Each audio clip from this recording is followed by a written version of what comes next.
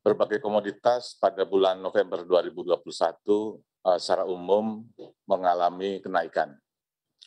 Berdasarkan hasil pemantauan BPS di 90 kota, pada November 2021 ini terjadi inflasi sebesar 0,37 persen. Saya ulangi bahwa pada November 2021 ini terjadi inflasi sebesar 0,37 persen.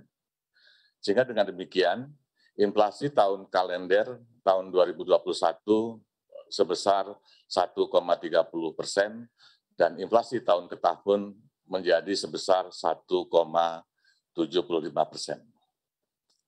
Jadi saya ulangi Bapak sekalian, inflasi bulan November sebesar 0,37 persen, inflasi tahun kalender sebesar 1,30 persen, kemudian inflasi uh, year on year atau tahunan itu sebesar 1,75 persen. Kemudian kalau kita perhatikan dari 90 kota yang kita pantau perkembangan harganya, terdapat 84 eh, kota itu mengalami inflasi dan 6 kota mengalami deflasi. Inflasi tertinggi terjadi di uh, Sintang. Ya, Sintang itu terjadi inflasi sebesar 2,01 persen. Kalau kita lihat komoditas penyumbang inflasi di Sintang, di antaranya adalah bahan bakar rumah tangga, ini memiliki andil 0,27 persen. Kemudian telur ayam ras, ya andilnya 0,23 persen, dan kacang panjang memiliki andil 0,19 persen. Jadi di Sintang terjadi inflasi 0,27 persen, di antaranya yang menyebabkan inflasi di Sintang adalah eh, bahan bakar rumah tangga, telur ayam ras, dan kacang panjang. Sedangkan dari enam kota yang mengalami deflasi, ya deflasi tertinggi terjadi di kota di kota Mobagu, ya.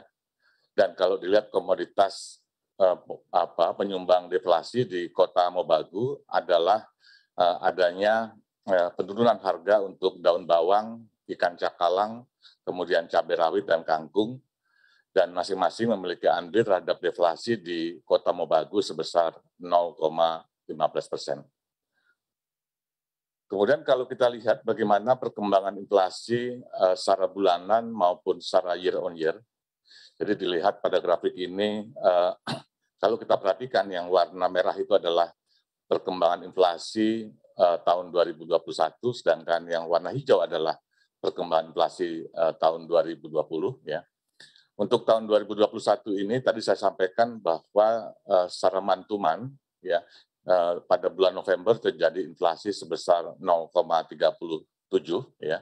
Dan ini kalau kita perhatikan seri selama tahun 2021 merupakan inflasi yang tertinggi di tahun 2021 ya.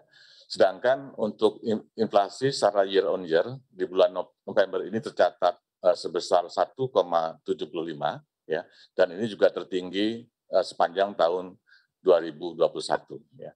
Jadi baik secara mantuman maupun year on year, inflasi November tahun 2021 ini merupakan inflasi yang tertinggi di tahun 2021.